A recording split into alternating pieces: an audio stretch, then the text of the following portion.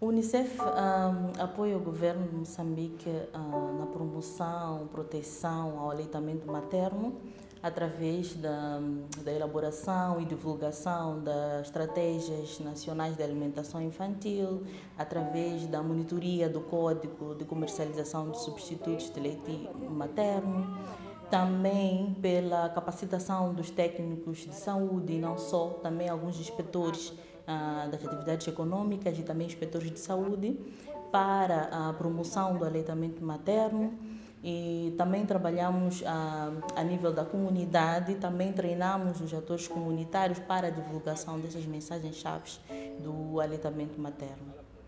Ouvintes da Rádio Comunitária de Nhamatanda, estamos nós no espaço reservado à música e à nossa conversa e hoje eu tenho que trazer aqui uma conversa tão importante para você.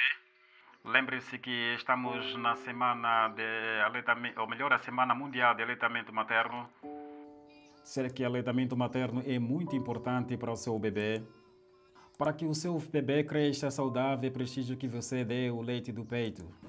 O Unicef trabalha também com os órgãos de comunicação social ah, através da formação de jornalistas que passam mensagens chaves do aleitamento materno ah, nos programas de rádio comunitária, também ah, estabelecem debates entre a comunidade e convidam profissionais de saúde para esclarecer algumas dúvidas, algumas questões e trazem junto a, ao programa também pais, e avós e sogras que são influentes ah, nesta questão do comportamento né, que a mãe vai adotar para alimentar o seu bebê.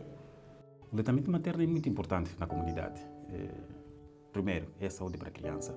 E, na verdade, é que, eh, os conselhos também que nós temos dado sempre é que nos primeiros seis meses a criança não pode se alimentar de outra coisa senão leite. Então, este mesmo é tal importância para a criança poder crescer saudável. O que nós queremos é que a criança cresça saudável.